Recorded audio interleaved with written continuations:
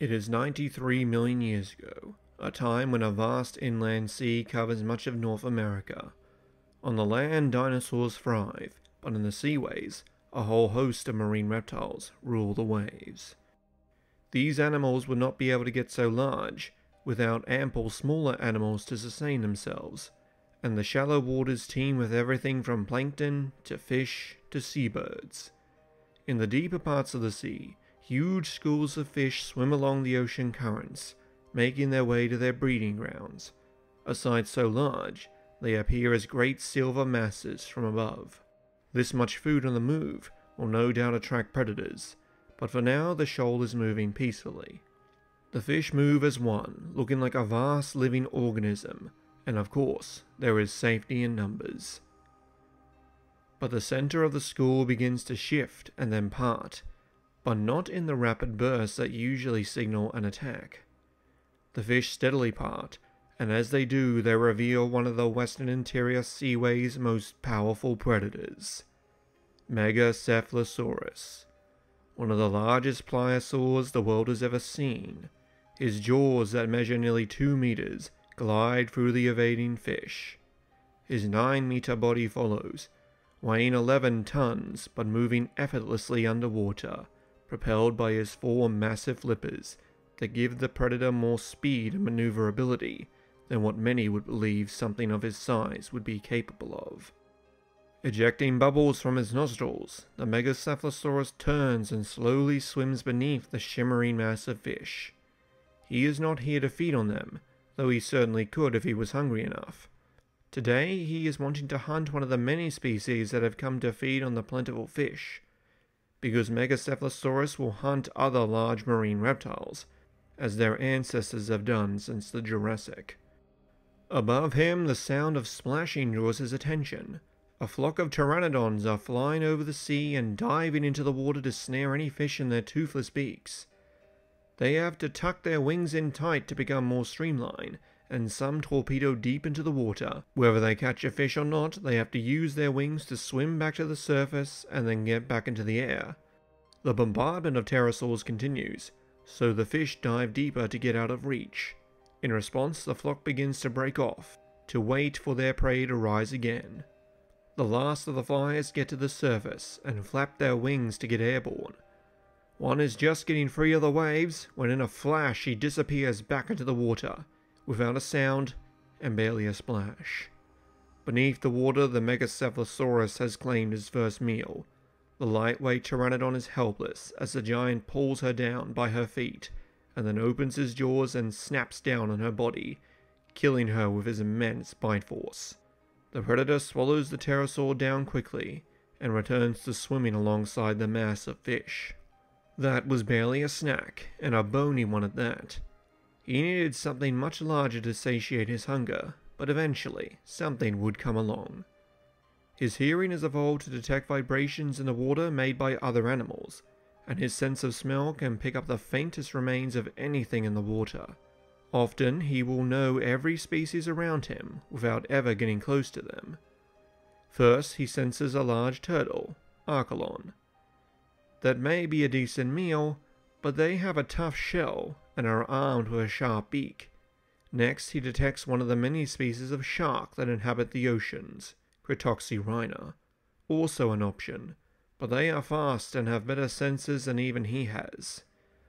After that, he picks up the trail of a group of plesiosaurs, the 10 meter long Elasmosaurus, and there are at least 11 of them. They would be a good catch, and so the Megacephalosaurus puts a bit more effort into his strokes and zeroes in on his targets. As the large male moves closer to his potential meal, the sounds and smells of a chaotic hunt become more prevalent, and it doesn't take long for the carnage to come into view. The front of the huge migrating school of fish are under attack from multiple different species. From above, the pteranodons have restarted their airborne attacks. From below, a school of Xiphactinus charge in, scoffing down as much as they can fit into their wide mouths. Darting in and out of the school is a crocodilian, Terminonaris, its long jaws snapping up the slippery fish with blinding precision. And there, in amongst the feeding frenzy, were the family of elasmosaurs. their long necks twisting to snag any fish not fast enough to escape the needle-like teeth that line their jaws. The Megacephalosaurus swam below the mass of fish to use them as cover, but through them he could see the large plesiosaurs are also in trouble. The group were being harassed by a mosasaur, though a smaller species, about 6 meters long.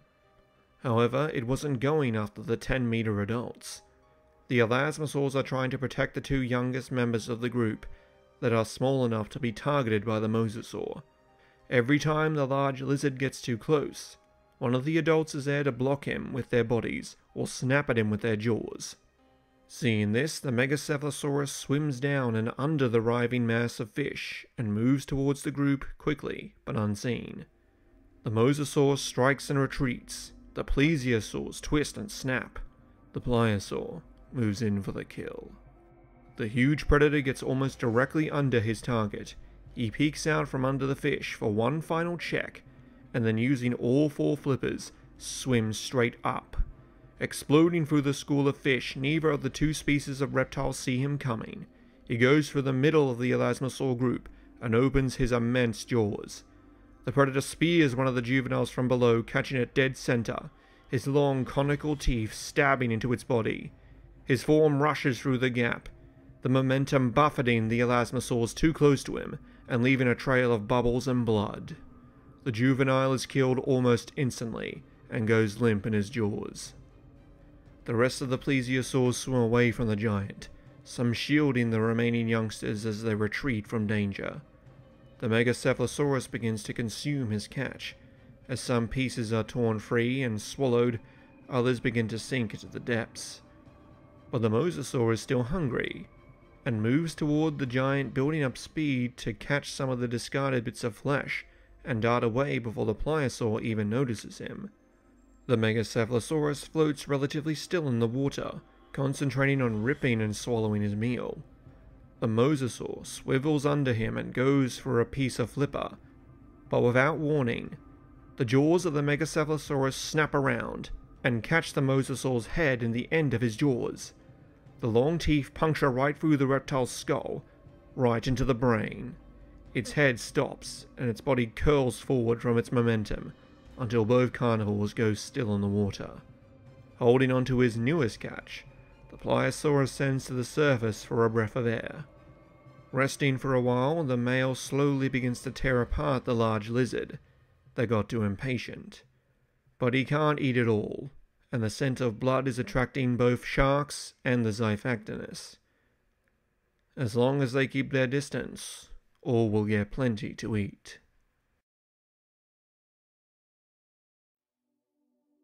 Greetings, fellow travelers, and welcome back. Today we will be breaking down one of the last pliosaurs to swim the oceans, Megacephalosaurus.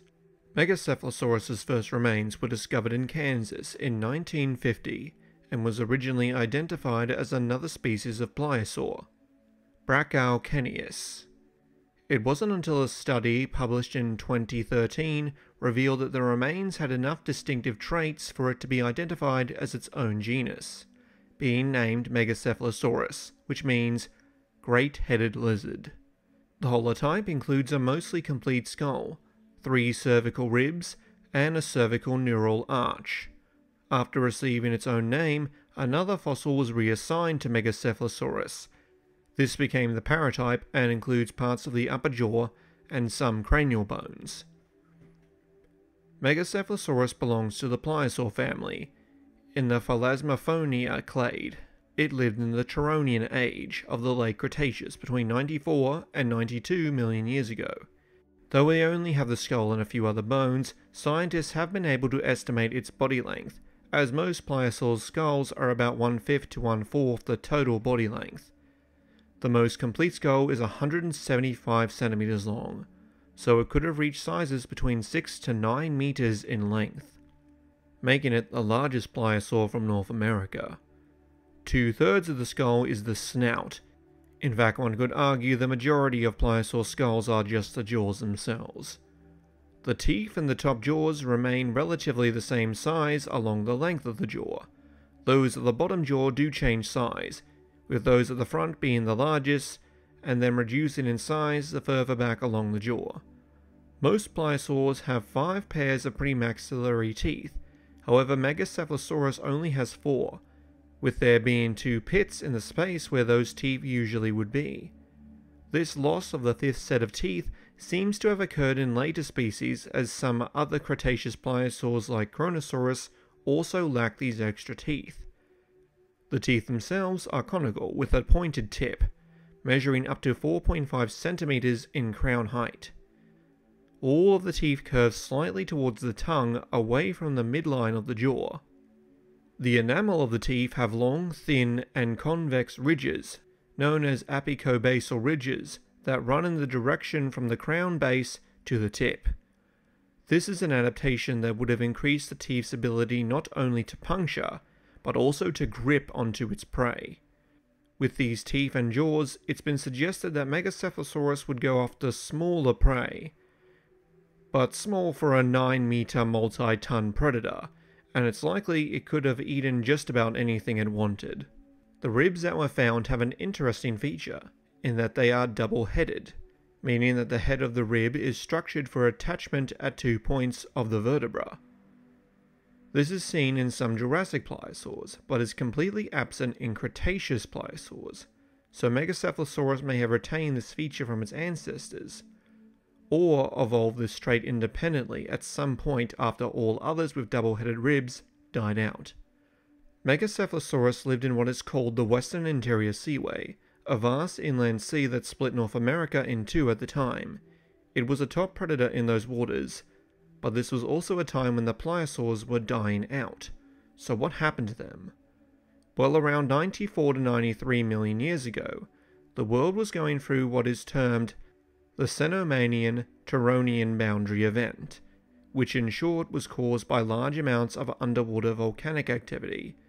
This caused global temperatures to rise, acidification of the oceans, and up to 25% of marine fauna to go extinct.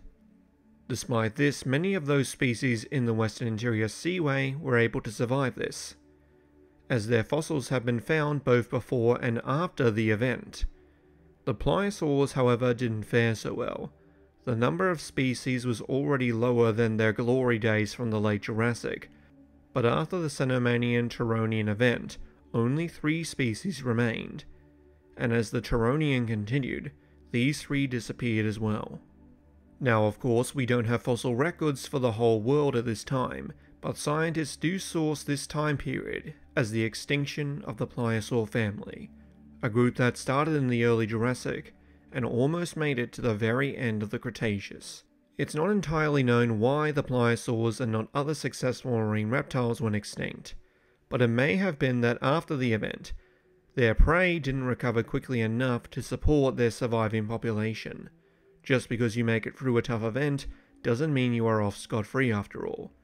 Their decline and eventual disappearance coincided with the rise of mosasaurs that took their place as top predators, and may have even competed with them while they were on their last legs.